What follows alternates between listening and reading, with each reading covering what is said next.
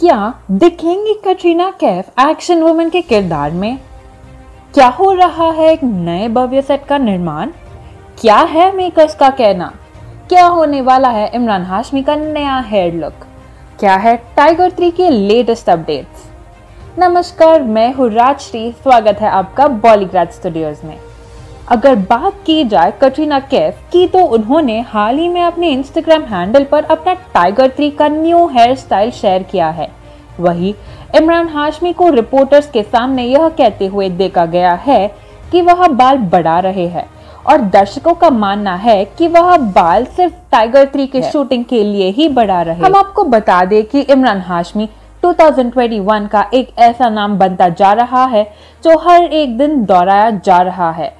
जहाँ एक तरफ़ इमरान हाशमी का ब्लॉकबस्टर गाना लुट गए जिसे आवाज़ दी है जुबिन नौटियाल ने ताबड़तोड़ व्यूज़ क्रॉस करता जा रहा है। हाल ही में इमरान हाशमी के इस गाने ने 250 मिलियन व्यूज़ क्रॉस कर लिए।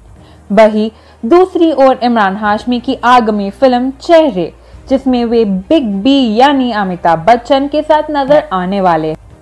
उसके ट्रेलर में दर्शकों को बहुत उत्साहित कर दिया है और हाल ही में उनकी मुंबई सागा थिएटर में रिलीज़ हो चुकी है, जिसे लोगों के काफ़ी अच्छे रिव्यूज़ मिले हैं।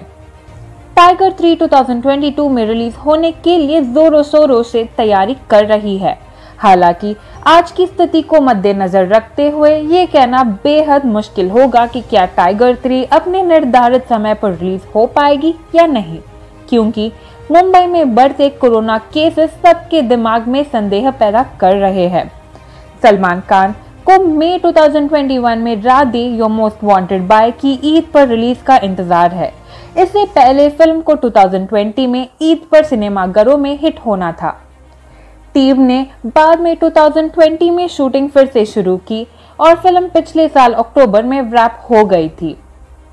इसके अलावा सलमान के पास टाइगर थ्री कभी ईद, कभी दिवाली और अंतिम है, जिसमें वह आयुष शर्मा के साथ दिखाई देंगे। मुंबई में टर, मुंबई में टर्की दिखाने के लिए मेकर्स सेट तैयार करते में बहुत ज़्यादा मेहनत कर रहे हैं। वे नहीं चाहते हैं कि इसमें किसी भी प्रकार की कोई कमी रहे।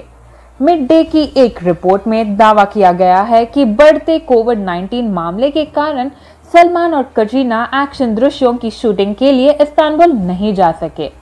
कथित तौर पर निर्माता प्रोडक्शंस डिज़ाइन टीम की मदद से गोरे गाँव में एक तुर्की सेटिंग कर रहे हैं, जहाँ कटरीना और सलमान ज़ाहिर तौर पर बारी बरकम एक्शन स्टंट के लिए शूट राष्ट्रीय दैनिक की रिपोर्ट के अनुसार तुर्की वस्तुकला के साथ एक भव्य सेट बनाया जाएगा, जहाँ सलमान और कटरीना कथित तौर पर तोपखाने के टैंक और हथगोले के साथ शूट करेंगे।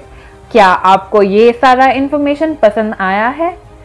अगर आपको ये वीडियो पसंद आई हो तो इस वीडियो को लाइक ज़रूर करें और आपके दोस्तों के साथ शेयर भी करें। और हमारे चैनल को सब्सक्राइब करना ना भूलें। आज के हमारे स्क्रिप्ट के राइटर है दिव्या शर्मा।